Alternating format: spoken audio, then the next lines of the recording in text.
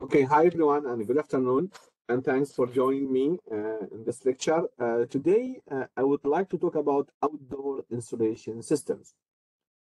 And in the lecture today I will try to talk about the types of outdoor insulation systems and how we can improve their performance, especially against pollution. Uh, then I will talk about uh, what is the new trends in outdoor uh, insulators. Uh, and for next week, it will be a continuation of this, but I will talk about a specific topic, which is the applications of machine learning, deep learning in the diagnostics of outdoor uh, insulators. Uh, I, I did some research in outdoor in transformers, but I will keep everything just related to outdoor insulators.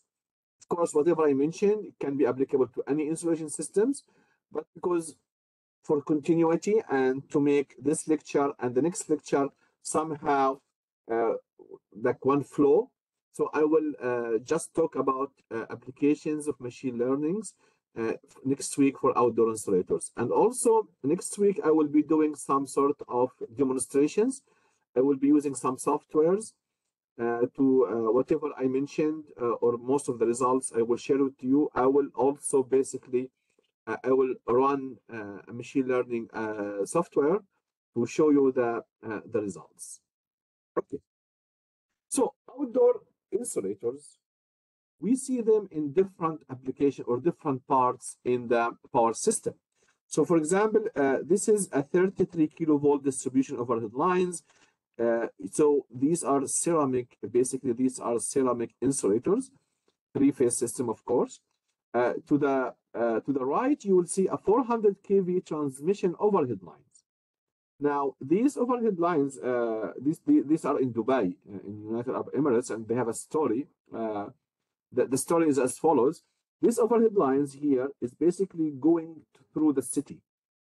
And they want to have a design that minimize the right of way. The right of way is what is the distance to the right and to the left of the overhead lines that you are not allowed to have any construction. Okay, so that is one of the compact designs that are available that you can actually narrow down the uh, the right of ways so that you can have to the right and to the left not very uh, uh i mean the prohibited area is not that long and these basically are using the they were using polymer polymer insulators here this design it's like a triangle okay? And this triangle has a reason for that. This is to maintain that the uh, the system uh, basically balanced. Because if you use different designs then you have to use transposing every one third of the line to keep the system balanced. But this system here when you have it as a triangle equal triangle like this so this is equal to this equal to this then you maintain the balance in the in the system. Also, outdoor insulation systems available in outdoor substations as well. Okay, this is an uh, a 138 kilovolt uh, substation in Canada, and you can see here, for example, you can see the transformer here. Uh, you see the potential transformer, current transformers, and also you see here the insulators. Uh, there are different strings here to hold the different components. So this is uh, they are using here ceramic insulators, cap and pin insulators. Uh, as I said, this is to basically insulate different parts of the uh, substation. Here you see the bushings. Uh, the bushings as well is part of the insulation system. Uh, these are load break switches and between the high voltage and the grounded structure, you have also, you can see also some uh, insulators as, as well. Now, Outdoor they are extremely important. Most of the electrical power is transmitted and distributed over overhead lines. Uh, now, in some countries, for the distribution lines, they don't use basically uh, overhead lines, they use underground cables. But in Canada here, except you are in a heavy polluted, uh, populated area, like downtown, we use always overhead lines even in distribution. Of course, for transmission systems, we also use overhead lines. Uh, underground cables for transmission are very rare uh, unless you really have to use them. like for example, transmitting the power between islands, for example, then you have to use an underground uh, cable. Uh, also here, the outdoor, so the outdoor insulators play as the backbone for the overhead lines. Also, as we have seen here, the substations as well, uh, they are supported by uh, outdoor insulators as, as well. Now, those outdoor insulators, they have to withstand the stress, the electrical stress, and the mechanical stress, both steady state and transient for switching and lightning events, and also they have to do this job under sometimes extremely polluted conditions, under high temperature, high humidity, accumulation of pollution. So they are basically working in a very harsh conditions. So this is why the selection of the outdoor insulators is extremely important.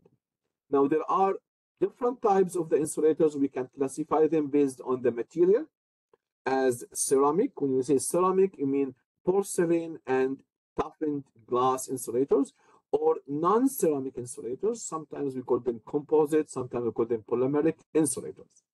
Also, you can classify them based on the voltage class as distribution or as transmission. So let's talk about each type of those insulators. Let's start about uh, porcelain insulators.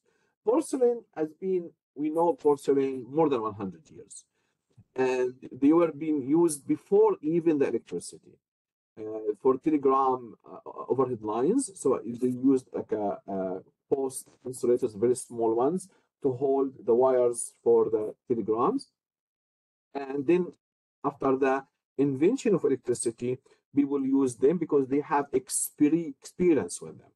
So if you look here, basically this is uh, one cap and pin insulator. So we have here, this is the top part is called the cap. Okay and the bottom part is the pin. So this is why it's called cap and pin insulators. And here we have the ceramic shell. And the ceramic shell basically is attached to the cap and the pin using cement, Portland cement.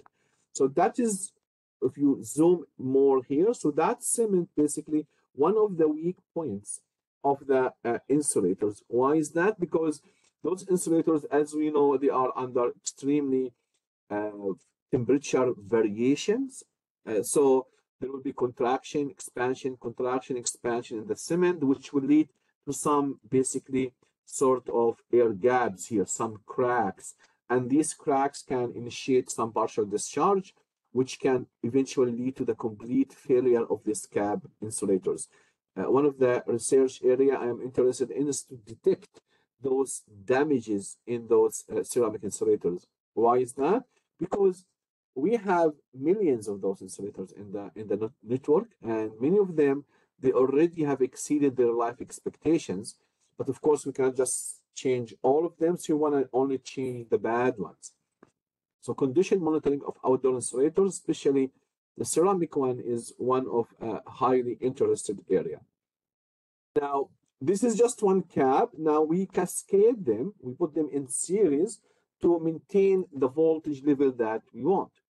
Uh, however, there is no just one formula, meaning that if you need to have a voltage level of, let's say, 110 kilovolt, use 9.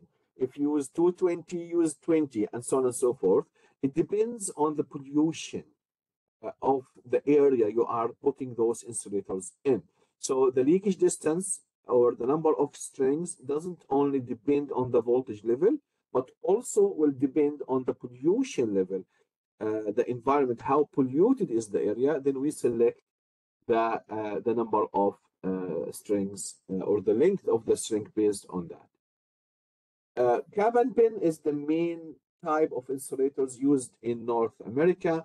Also, in substations, we use uh, post ceramic insulators.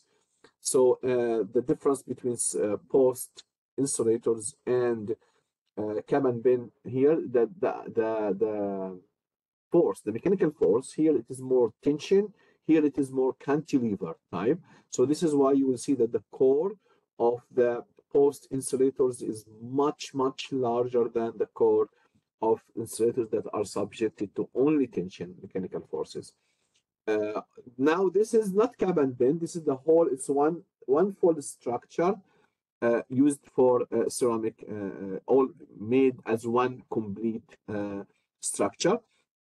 I have some videos, maybe I will share them with you to show you more how they look like. We have a lot of them in the lab because our lab is very active, myself and my colleagues in outdoor insulators. Now in Europe the, uh, and some other countries, they use long rod insulator design. So this is like a long rod. Instead of having cap and pin, it's just one full rod. So that is one of the types it's used in Europe and some part of the Middle East as well. The second type is the glass insulators, but the glass and the porcelain both under ceramic insulators. Now, the glass insulators has a better mechanical strength than the porcelain. Uh, also, it, if there is any flaws, any defects, any damages because it's, it's transparent, then uh, we can see those flaws. So this is another advantage of the of the glass insulators. It has this advantage. Uh, one of the disadvantages, and this is not a joke, this is reality. If someone shoot at them, they are the way they scatter very attractive so it attracts shooters, especially in, in the US where guns are legal.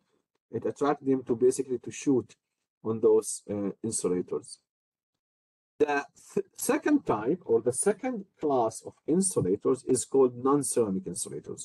Now, porcelain and glass, these are the old technology. Now, the main motive to move from porcelain and glass to non-ceramic insulators was to reduce the weight because people they are going to higher and higher voltage levels. Now they are approaching the 1 million volt. And the, the length of the ceramic insulators becomes uh, very heavy, the weight of those insulators for a tower to uh, actually hold them. And hence the design of the tower becomes very hectic, very difficult. And this is why people start to thinking about different alternative technologies to support the mecha mechanically the insulator, the conductors, as well as electrically uh, insulate them. And here comes the idea of using a different uh, material, basically composite or non-ceramic or polymeric insulators. And this started from the 70s, but there were some flaws in the early designs. We People start to develop more and more. And then came up the rubber material and people discovered one important characteristic. We'll talk about it in details later on, which is the hydrophobicity of the silicon rubber, which will lead to a very good pollution performance of those insulators. So non-ceramic insulators are composed of uh, sheds or housing material. So this is the outside housing uh, material. And also they have the fiberglass core so basically you are molding the insulators on top of them, okay? So you have the fiberglass and then you inject the rubber uh, of the on on top of the rod. Now there are two different ways how you can inject the rubber on top of the fiberglass core. Either you inject them as one mold, so all, all one piece, or basically you have the shed, you install the shed one at a time. Uh, the full uh, injection mold insulators is more common nowadays in the uh, for the its integrity because there's not much of interface if you want to mount those sheds uh, separately. Now the material we use it for the silicon rubber, it's uh, the two main material EPDM and silicon. EPDM stands for ethylene propylene diene monomers, and silicon is, is silicon. I will come to the silicon uh, uh, a little bit. Now, EPDM has an advantage. It's stronger, the material. Uh, the aging of the material in the field is less. Uh, uh, I mean, it's less prone to aging compared to the silicon. However, silicon has the one of the best characteristics, which is it can regain its properties. As we mentioned about the hydrophobicity, we'll talk about that. But after aging, the material loses this hydrophobicity, but it can regain it again. So that is one of the advantages of the of the uh, silicon material. This is this one is a tension type insulator. Uh, this is a, this is basically a, a, post insulator. The difference between the post and the tension again is the the uh, actually the uh, cross sectional area uh, of the core the core because the core in both will take the mechanical load. The weather shed basically will cover the uh, the, the, the the fiberglass core to protect it from the environmental conditions. Um, and also to provide the leakage distance. We'll talk about the leakage distance uh, after a few slides. But the main difference between the uh, the tension type and the post type is the the cross-section area of the core. This is definitely because uh, the mechanical load here is more severe. Okay, uh, the the the conductor will have like forces in that direction. So we have cantilever type of force, but here it is basically tension type of force. So for the tension type of force, you don't need to have a very uh, wide or a very large cross-section area in the core as opposed to the to the post insulators. Now, the silicon rubber material, as I said, this is one of the well-known material used in the polymeric material, and there are two main components of the silicon rubber. We have the base polymer, and in the base polymer, it is basically a polymer, so it's a chain that repeats itself. So we have the backbone is silicon. It's IO, silicon. It's IO2. That is the the backbone. So it is inorganic, and that gives it more strength than organic material. It's less prone to carbonization compared to the EPDM. And then we have the side groups, the CH3. This is responsible for the hydrophobicity property uh, that we will see it uh, visually in the insulator. But basically, in a simple language, the hydrophobicity is the ability of the material to, uh, whenever it is there is wetting, that the water droplet will be basically uh, not continuously wetting the surface, but there will be discrete uh, type of water droplets to prevent the formation of the of the leakage current. So that is the base polymer. We have also fillers. We have two main fillers, one called ATH or alumina trihydrate or silica. Okay. ATH is much more common in the in the industry. Most of the industry use ATH. And there is one manufacturer I know of. They use silica in the in the US for for the high voltage uh, for the silicon rubber material. Now, why we use fillers? There are different reasons for that. The first one is to improve the erosion resistance. Now, because uh, the insulators might be subjected to arcing, to corona, you want to have the material, the material to be strong enough to basically resist the erosion due to the energy coming from the arcing on its uh, surface. So both silica and ATH will uh, provide good uh, erosion resistance. Now, ATH has an advantage over silica. ATH is basically is alumina trihydrate. So it is alumina with attached to water molecules. So whenever there is arcing on the surface and uh, the temperature goes up, the ATH will start to be actually decomposed to alumina and water of water of hydration. Now this water will be start to quench the arcing, reduce the surface temperature. And this is good because you don't want the temperature to go very high. Otherwise, you will start to have uh, severe signs of, of aging. Another important of the fillers is to improve the mechanical properties compared to rubber without any fillers. The filled rubber basically has very strong uh, mechanical properties. Finally, to reduce the cost because the filler cost is much, much less than the cost of the base polymer. So we add filler up to 60% by weight. We add them as uh, fillers, and that basically can improve significantly the uh, erosion and the mechanical properties. Now, if we compare the ceramic versus the non-ceramic insulators, we'll see that both has advantages and disadvantages. Let's start with the ceramic insulators. The advantages, they have long history uh, of use, more than 100 years, okay? Now, you will see that most of the advantages in the ceramic are disadvantages in the non-ceramic and vice versa.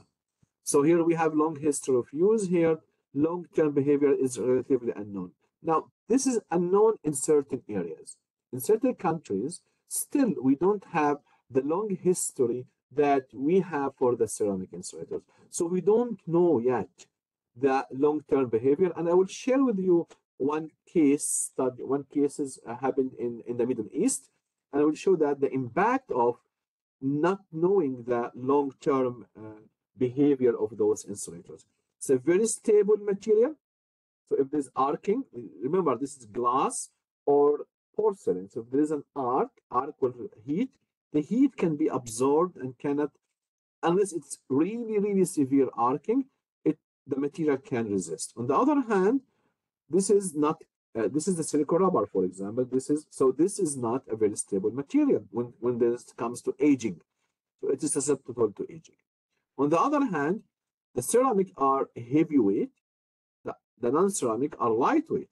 As a matter of fact, as I mentioned earlier, the main incentive of basically uh, using uh, silicon rubber uh, material is basically for to reduce the weight of the insulator so that they can be feasibly used for uh, low high uh, voltage uh, systems. Now, uh, poor contamination performance or hydrophilic behavior. Now, if the surface of the insulators is wetted, you will have a continuous path of water on its surface. What's wrong with that? If we have a continuous, one side is high voltage, the other side is basically ground, and if the surface is wet, completely wet, then you will have a leakage current leading to a flashover. So this is something bad. On the other hand, the non-ceramic insulators, they are hydrophobic. Hydrophobic in, in, in a sense that basically uh, if the water comes or start to condense or to accumulate on the surface, you will not have a full wetting surface. Instead, you will have discrete water water uh, droplet. The last advantage is now this insulators basically uh, they are not I mean they are they are prone to damages, physical damages, either through transportation or installations, or people want to have some fun shooting at them or throwing some rocks at them and see them when they explode, which is uh, some people like that. Uh, on the other hand, the polymeric insulators, they are vandalism resistant because basically they are a fiberglass core and this is, uh, it is basically enclosed with a silicon rubber material. So that silicon rubber material, basically, it will absorb any mechanical force. So if you shoot at them, there is not much of uh, excitement there. As a matter of fact, uh, in one, one of the cases I was reading about in uh, one of the villages in Morocco, the reason they moved from glass insulators to uh, polymer insulators, not because of the pollution, but because kids like to throw stones at the insulators. So basically, they want to have something that does not appeal to others to, to throw rocks on them. So they change everything to polymeric insulators. So as you can see here, and this is the case always in any engineering solutions, there is no perfect solution. Each one has certain advantages and certain disadvantages. Now, which one is used worldwide?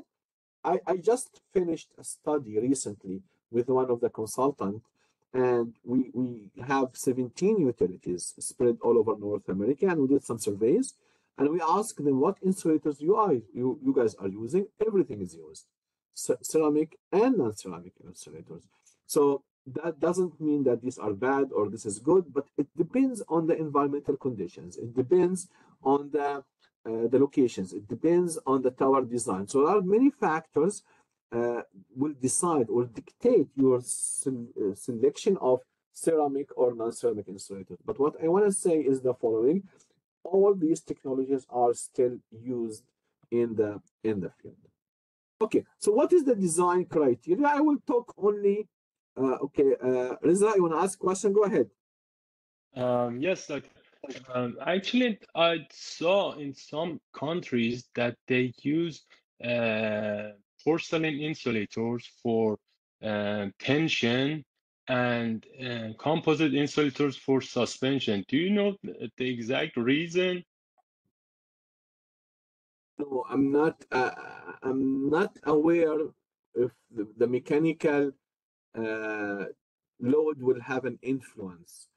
Uh, it could be like some practices, but what I know for sure that the pollution is the main criteria, as we will see in the selection of the material, ceramic versus non-ceramic insulators.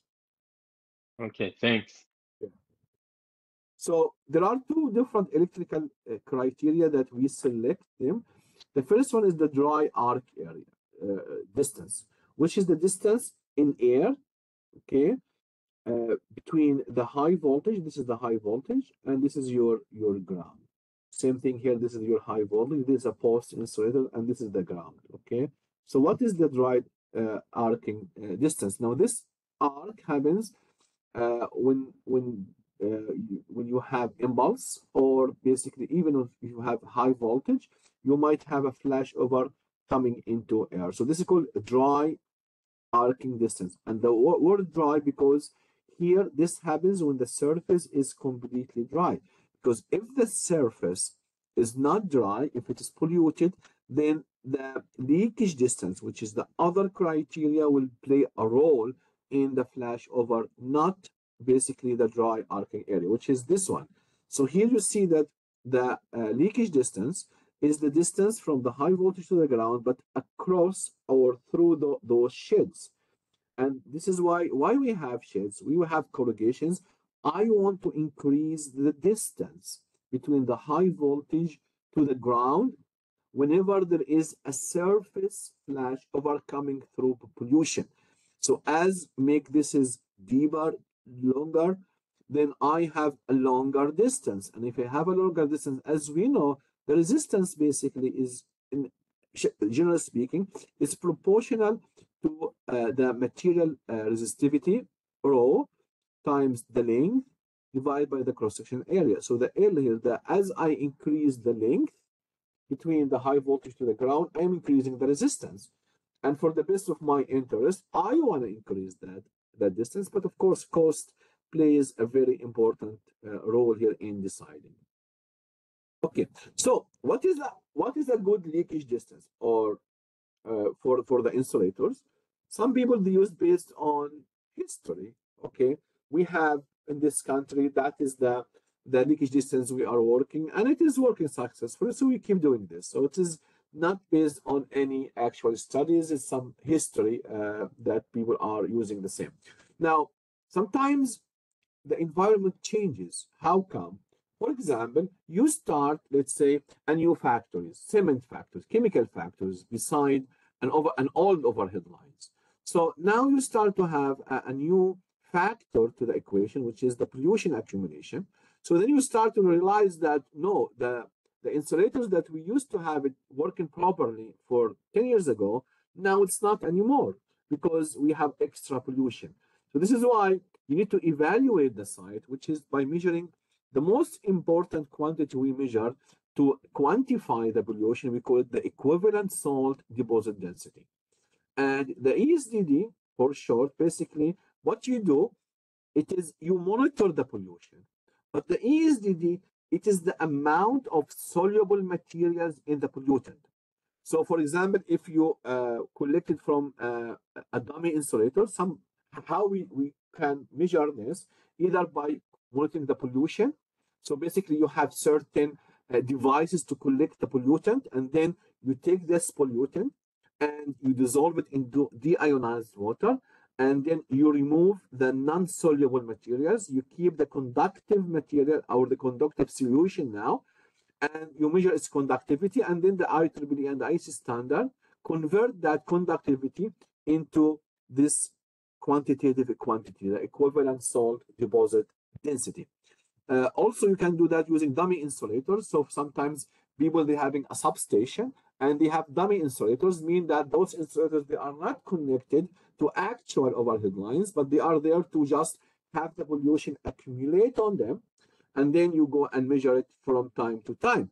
Or you remove from in-service actual insulators, and then basically you find uh, the ESDD. Now, based on the ESDD, there are different standards. One of them is the IEC standard. You select the proper leakage distance. So, for example, here, uh, here the IEC uh, 60815 uh, this is the equivalent salt deposit density. This is milligram.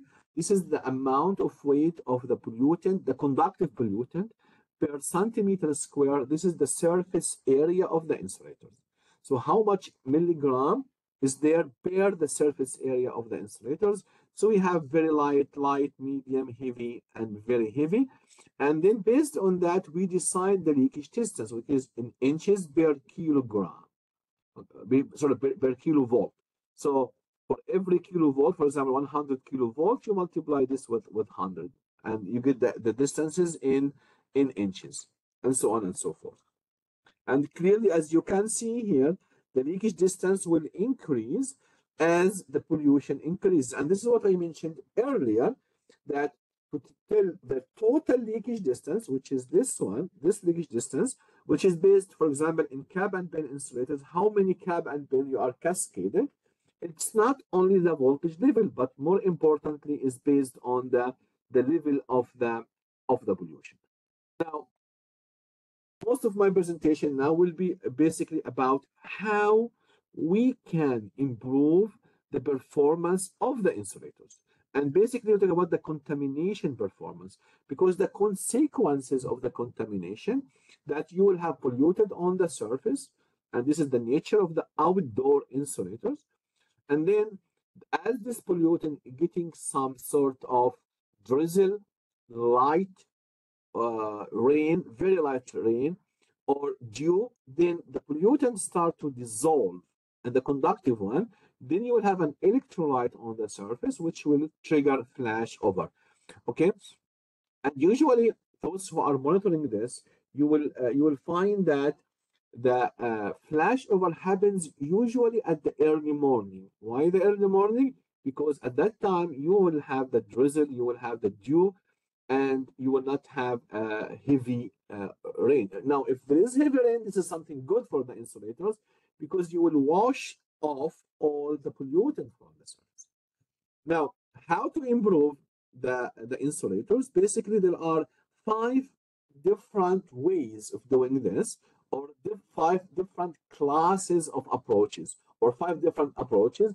Under each approach, there are different ways of doing that specific approach how to keep the leakage path clean, how to prevent water bridging, for example, how to in increase the leakage distance, keep the leakage path dry, and prevent water filming.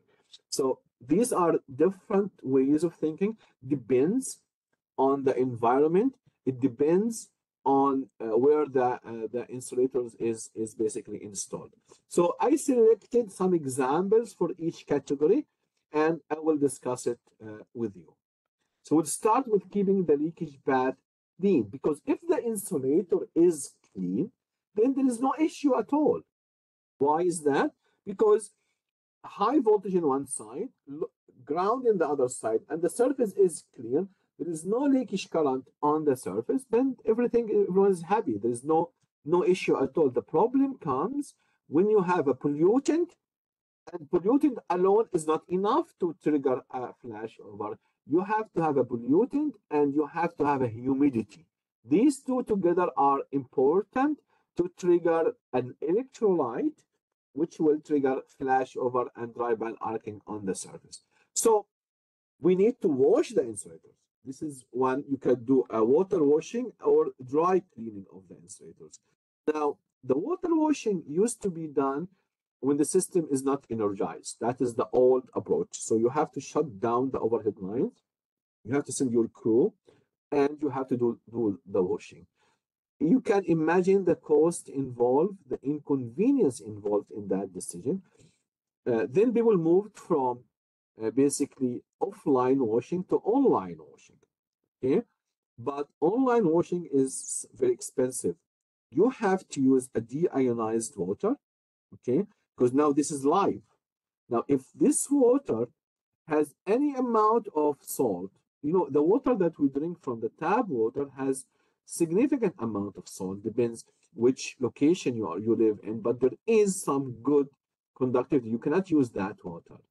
Okay, because if this is has even little bit of conductivity, this is high voltage, you will have an arc from the insulators to the person who is basically washing the insulators. So you have to make sure basically that uh, your water is free from any conductive particles. Uh, some time ago, and you can search that uh, live high voltage washing. Uh, there was a crew in the UK, and you want to wash, I think it was 500 kilovolt or 400 kilovolt. And the guy was he was saying that this is one of the most dangerous jobs in the world. And he said that if I have any doubt that there is a problem, even if I don't feel I don't know what's the problem, I just my feeling that there is something not wrong, I will cancel the trip. Because that's a mistake that you do it only once when when you wash the uh, 500 kilovolt if there is any problem uh, might in the system then uh, the, a flashover coming from the insulators to the people is something inevitable. And this it will be very lethal. So it's very very important to uh, to pay attention to this. Now how often we need to do the washing? Okay? now that is a it's a one million dollar question. Why is that? Because no one knows honestly it depends on the practice of the utility. Usually you either overwash or underwash. Overwash you are washing too frequent even before there is any danger. Or you are underwash you only wash uh, you take much longer time than a flashover might happen before you your wash uh, people are trying to predict this but still this is not an easy question to answer. Now having said that some countries basically they need to do the washing. Uh, and remember uh, the eastern province in saudi arabia they have to do that once every six weeks. They have one of the worst uh, areas in the world. And you can imagine these overhead lines they extend hundreds of kilometers in saudi in the desert. So you have to send the, your crew to do this washing every six weeks. So the cost is tremendous. And you have this is what forced people to think about some other solutions to uh, help them uh, solve this issue. Uh, dry cleaning is also another another way of doing this by uh, basically some materials not water. Uh, they are uh, under pressure. You release this material some of them have some fire hazard okay? But again this is also very very expensive approach as well. So making the uh, leakage path clean. So you have water washing, dry cleaning, or use some designs different than others. If you look carefully to this design and this design, they are different. Here, this is called an aerodynamic design. The aerodynamic design, this is corrugated design. So here they are changing the this one to basically the aerodynamic. The aerodynamic has an advantages especially if you are in the desert. Uh, in Saudi Arabia and Qatar, I have seen that they use this design a lot. There's no corrugations because this aerodynamic will will not allow too much of the pollution to uh, stay or to stick to the insulators. But those corrugations, now while those are used for some certain environments, uh, they are uh, I mean bad when you are in the desert, so the deposits will start to accumulate here uh, beneath those sheds, but this is because of the aerodynamic profile that the water will not uh, stay on the surface of the of the insulator. Uh, the second type of uh, remedies is to prevent water, ice, or snow bridging. Now, what do we mean by bridging? Now, imagine this is the insulator basically here. The sheds of the insulators, and if there is some water raining, now, if the rain bridge from this point to this, to this, then you will have like a complete bridging between the high voltage to the ground and you will have a flashover. I said uh, rain is sometimes good. Definitely it is good because it washes the pollutant. But like today we have in Waterloo very, very heavy rain. This heavy rain can actually cause some flashover events because of the water bridging on the surface. Okay, so how to avoid the water bridging, the snow bridging, uh, then use booster sheds. These are, you can see here, these are the ceramic, this is our ceramic post insulators, but you see this one, and these are some booster sheds. So you just connect them here to increase basically the, uh, the to prevent the water from bridging. Okay, now because if the water bridge like this, like this, then this one would prevent the water from full bridging on the surface of the of the insulators. Now, this has been used originally to prevent flashover during the water washing. So when you do water washing, you insert them and then you remove them. Then people found that this is something that can be used actually to prevent flashover due to the to the uh, bridging. Alternate design. This is also another idea of doing this or inclined shed design. Now, when you look here, this one, this is a post insulators. So you will see large shed, short, short, large, short, short, large. So basically you want to increase the leakage distance. Now, but you don't want to use large, large, large because now the distance between this and this is relatively high. If you have everything with the same shed length, then the distance will be between this point and that point. Then you will have easy bridging between the tips of the sheds. So to avoid this, you use alternate design. This one basically schematic for an inclined. This is not inclined uh, because this is like uh, in, in a horizontal position. So if the water comes here, you don't need to have this incline. But this incline basically will facilitate the removal of the water from the from the surface of the insulators. And this is inclined and alternate at the same time. So you have long, short, long, and so on and so forth. You could be have long, short, short, long, long, short, long, short. There are different designs, and there is no standard for this, and depends on the manufacturer mold basically. Because remember, at the end of the day, this is a mold, so it depends what mold the insulators have, the company has. They will not have an infinite number of molds, of course. They will have certain number of molds based on the, their design, based on the need of the environment. Sorry, the the utility, then you will they will have these different designs. This is why when you look to the uh, shed designs of different outdoor insulators, you will see they are not the same. They are different in terms even the color, different design in the sheds, and so on and so forth. The third approach is to increase the leakage path. The longer the insulator, the more you will have you will have more and more uh, longer insulators, then higher and higher resistance. Higher and higher resistance, this will prevent the flashover. So basically, we mentioned about the cap and pin. You add more cap and pin, as simple as that. But when you do that, when you increase the number of cap of pins, you have to make sure of the following. You have to make sure that the, the tower can still mechanically hold the insulators Otherwise, you may need you may need to do some mechanical enforcement in the tower.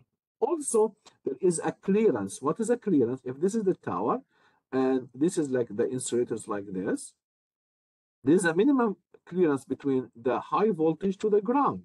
Okay, so you have to maintain that. Make sure that when you in increase the number of uh, and pin insulators, still you are you are maintaining the minimum clearance between the high voltage to the to the ground. Now for the polymer insulators, you need just to make them longer and longer. Now the difference between, and this is the advantage of the ceramic insulator in that regard, all you need to do is just add more discs. That's all. As I as I mentioned, if in case your tower can resist uh, this extra mechanical load. But for the polymer insulators, no, you have to manufacture a different one with a longer leakage distance. So also here, taller post as well, okay? So you can have taller post to increase the leakage distance. But once you start to have a taller insulators, their cantilever strength will be reduced. Okay, then you have to make it with a, a larger cross-sectional area to maintain the, the same uh, cantilever uh, strength. Extended leakage current designs, this is called fog type, deep type. So you see here, you will have, this is the leakage uh, distance, it goes all over the place like this. This is not the standard, this is called a fog type of insulator. So you are increasing the leakage distance with this. And this is easier to be done on porcelain or glass. It's very, it's not easy to make a complicated geometry for the polymeric insulators. Because remember, at the end of the day, you will have the mold, you will have the rod, you will inject the mold, then you have to take the insulators outside the mold. So if you have too many corrugations of the sheds, then it will be very difficult to take them outside the mold without damaging those insulators. So that puts some limitations in the use of non-ceramic insulators whenever you want to make some some uh, uh, more complicated uh, profiles. Creepage extender. So this is basically you. Add, this is a ceramic insulator. You add to it a creepage extender, which is with the red color here. So if this is you look to it inside, this is something like this. It does do like this. So you are so you just by adding it, you are increasing the creepage distance, and also it's a protected area as well. It's not sub because this is actually, uh, if you look from here, it is inside. So it has a protection, uh, and as well as increases the leakage uh, leakage uh, distance. Uh, this is an old technology. Uh, I, am not sure if still used nowadays, which is resistive glaze insulator. So basically, you have on the surface, uh, you you uh, the ceramic insulators you coated uh, with a semi-conductive glaze. So whenever there is a sort of pollutions happen, okay, or even before that, once because because of this semiconductor glaze, there will be a very very small current on the surface. Now this small current, if there is any condensation, any water, it will evaporate because of this high heat. So this technology is good for short term, but for long term, the materials start getting damaged and sometimes you go for the thermal run away. Thermal run away means that the temperature start to increase without any limit. And this can damage the, the glaze. This could be due to the damage in the glaze itself, okay, or due to the conductive contaminant that you start to have. This also will lead to the uh, runaway, which will lead to complete damage for the glaze.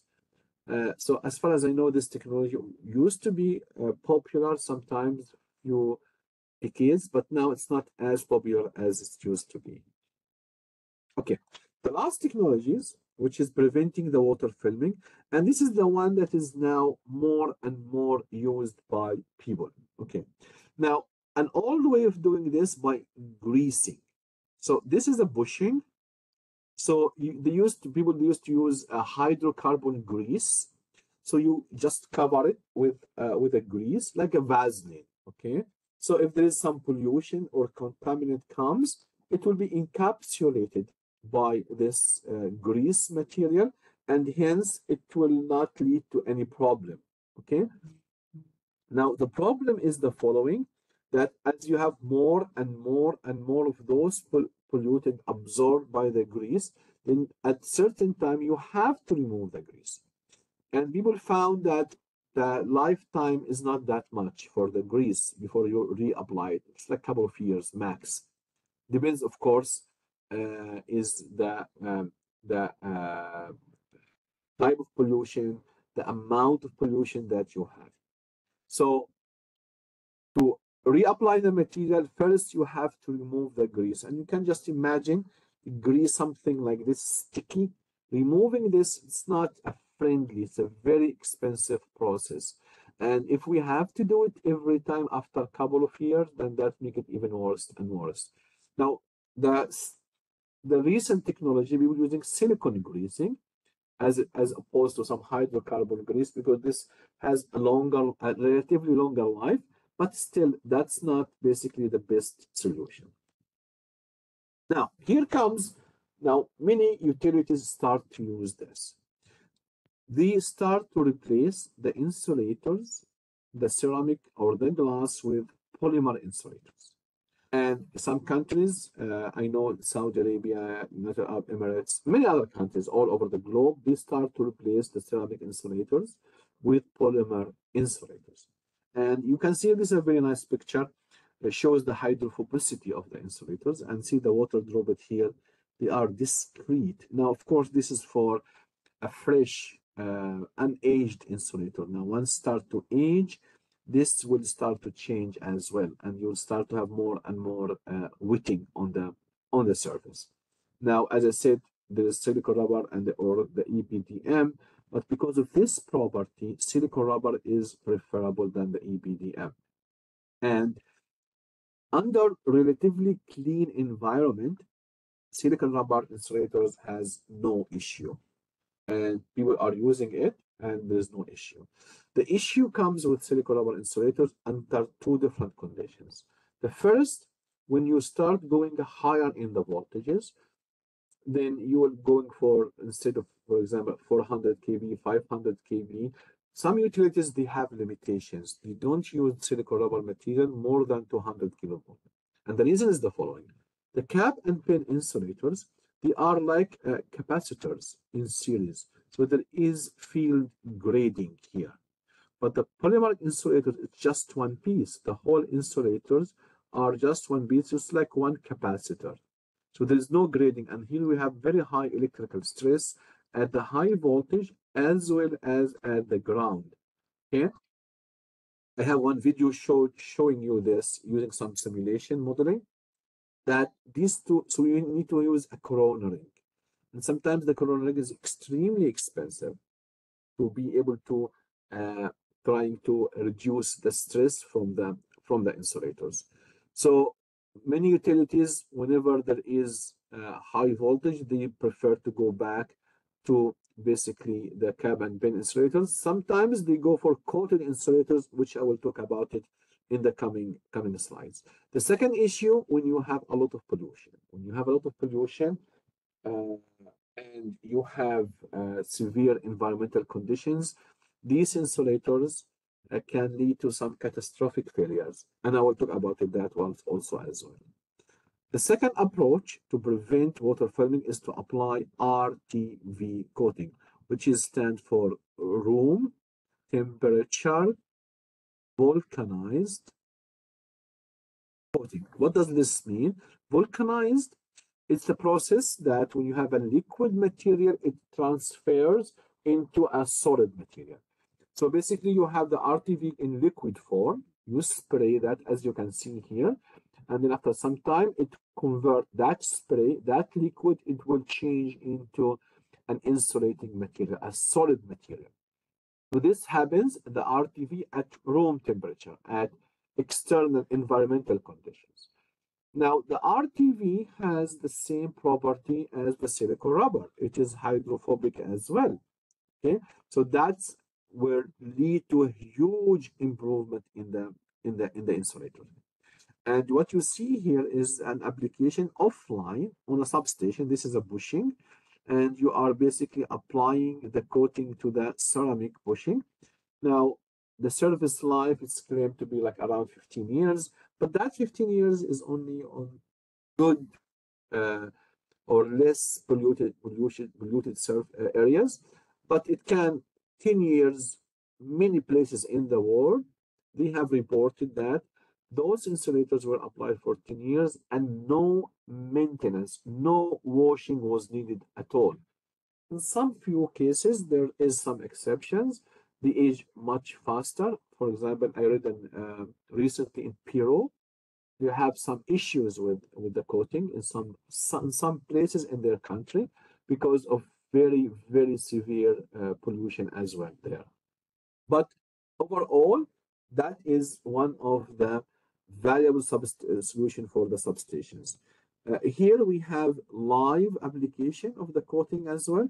So you don't have to shut down the substation. You can also you keep the clearance here and you can apply uh, the coating when the system is energized to avoid. So this is a bushing actually of a transformer. So to avoid any uh, downtime, downtime time. Uh, so this is all for substation uh, actually uh, maintenance. Okay, so here I don't need to do washing for the substation insulators. I and I think it's the same thing, just coated. And then for up to 10, maybe sometimes 15 years, I don't need to worry about it. Very convenient. And if you have to reapply the coating, then you have to remove the previous one and you have to reapply it again. It's a tedious process, okay, but it's worth it because it gives you peace of mind for 10 to 15 years. Then also we apply these people to some countries, like in Qatar.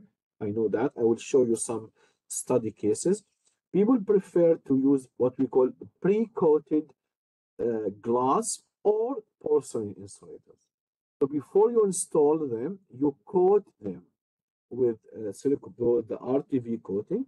So they comes from the manufacturer, or you bring the glass from the manufacturer and then you coat them yourself, and then you install them. So those are glass but coated. Now, why this approach? I will explain it to you. Why not use full ceramic, uh, non-ceramic insulators or polymer insulators? There is a reason. But that's the big question. Which one we should use? Uh, should we use a polymer insulator, full polymer insulators, or we have to use RTV coating? Now, let's go back to the advantages of both and see which one maintain those advantages. We talked about the hydrophobicity. Both of them is hydrophobic. So that is a common advantage of both. Now, the uh, glass insulator or the ceramic, now here the, the guy is applying the polymer on top of the, these are, if you know, look here careful, these are glass, these are coated, okay? Uh, the Here, if this damaged the property, then you, uh, the hydrophobicity, then you have to replace the whole insulators.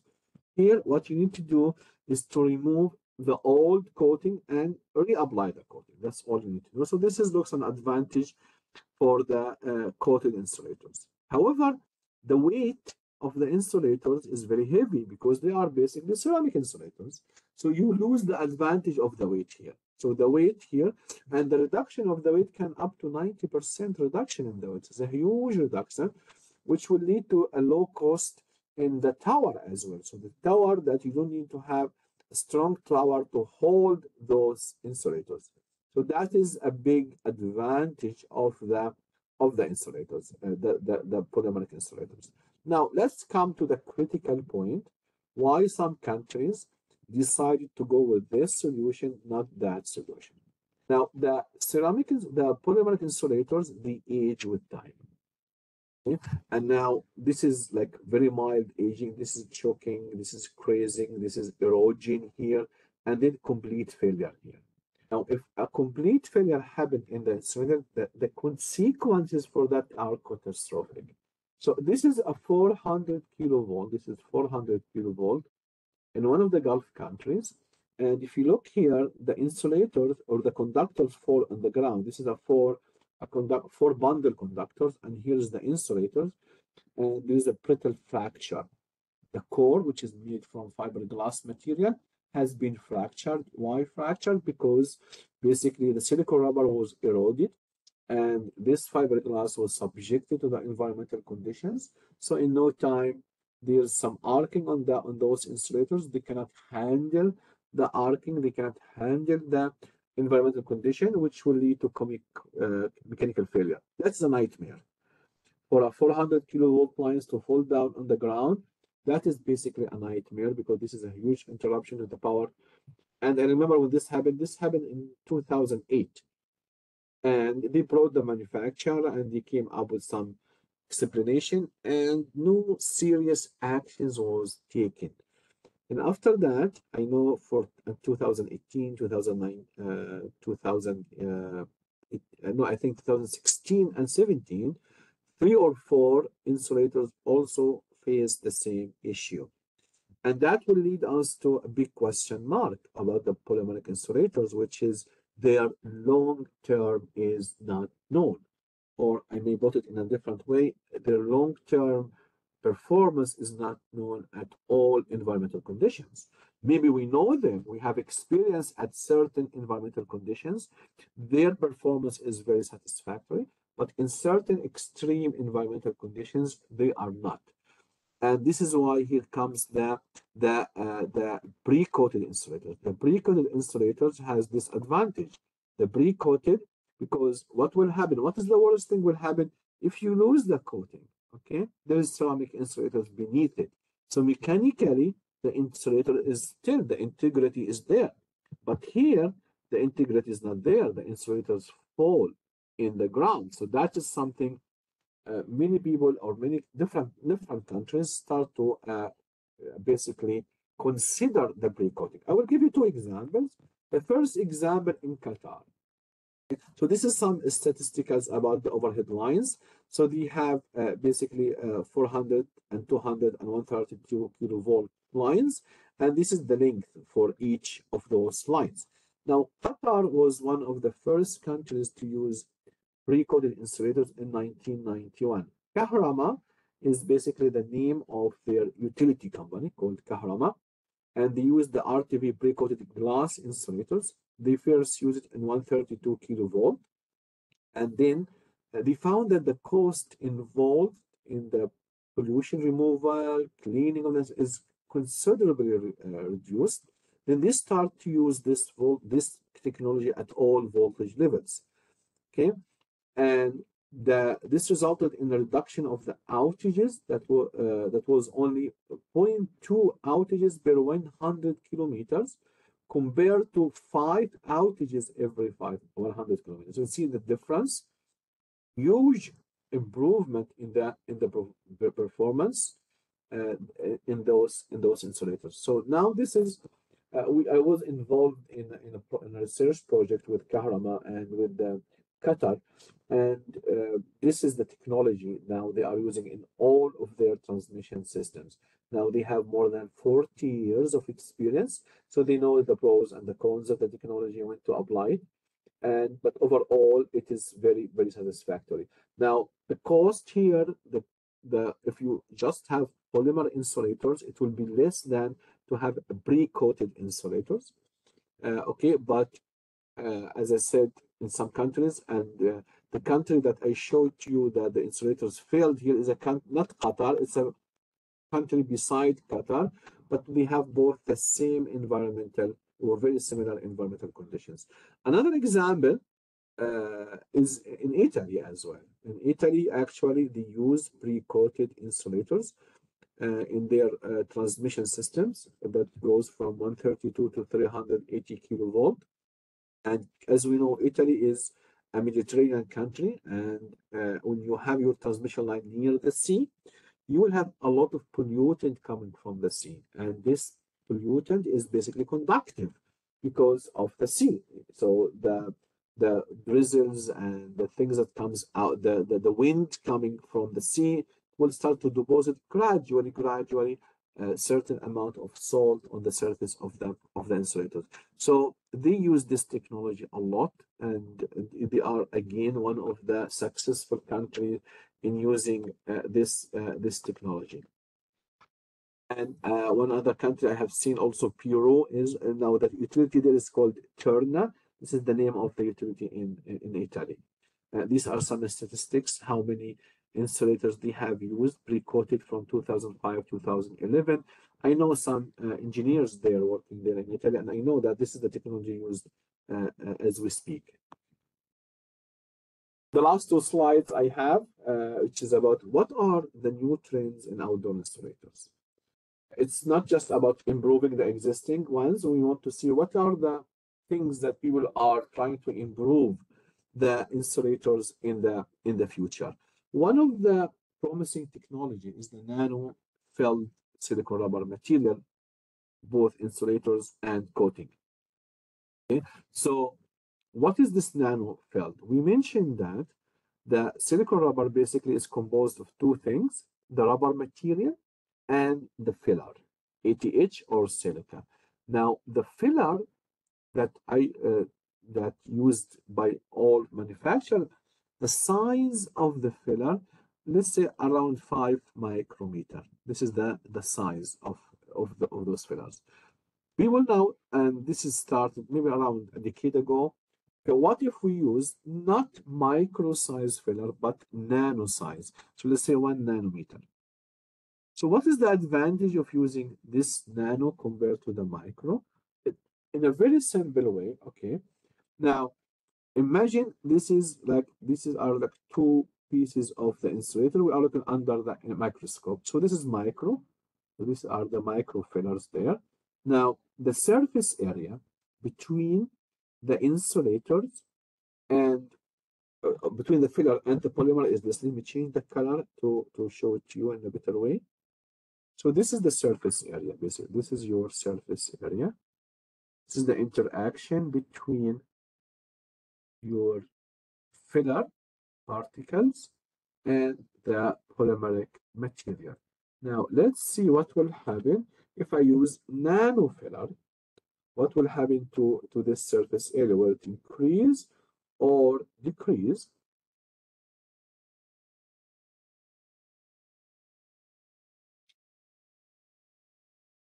So here we'll have, instead of this, we have very, very small fillers, very, very, very, very small fillers. I mean, that this, this could be many, many fillers here, which represent one filler only, okay? Now, if you look to the surface area, the interaction between the, the filler and the polymer material, now this becomes all of everything around that, those fillers will be a surface area. So you are increasing tremendously the surface area between the fillers and the polymer. And that has led to significant improvement in the electrical and the mechanical property of the material. Now, this technology, the nanofilm, is not used only in outdoor, but used in cables and some other, and also even in silicon in uh, transformer oil, also they use nanofilmed transformer oil. So this is a new technology that is used, still under research. Very, very little has been applied in the field. Uh, I am aware only of one case, and the result was very satisfactory. The only concern here still is the mixing become much harder. When you mix nanofiller, it's much harder, so more cost involved the cost of nanofiller is more than the microfiller. That is another cost involved as well. Uh, I, I, was involved in a project that we are trying to use uh, recyclable materials uh, instead of using buying it. We found that we can recycle certain uh, material comes as a byproduct of making the photovoltaic cells. So this is uh, this is another project uh, was involved with Qatar as well. So if we use that, it's like a sort of a green material, and it shows that it has very good uh, properties for the for the insulators. Here it is. You can see this is under SEM. So this is one micro. So this is from here to just one micro. So this would be like nano. Shows you the interaction between the rubber and the fillers. This is, as I said, called SEM, scanning electron microscopy. If you want to see something in details, then basically you need to use this technology, not just the optical microscope. Here, this is another commercial material. Uh, this is coming from Germany, basically. Uh, you see here, there are fibers here. This is, these are, these fillers are circle. These are the regular shape of this. But here, this made from fibers. And, and, the, and also these fibers, the uh, cross-section area is very thin and we found that this these fibers has led to huge improvement in the erosion resistance of of the of the coating finally and this is what we'll be discussing next week in details condition monitoring is one of the very important areas and application of machine learning deep learning to classify the defects to uh, assess the engineers to do better uh, diagnostics of the insulators.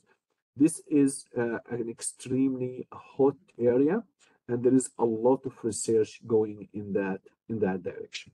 So with this, I will stop because, as I said, I will talk about next class, which will be all about this: how to use the sensors, how to select the sensors, how to extract the information, how to apply the machine learning or the deep learning all these things, I will cover them in details in next class.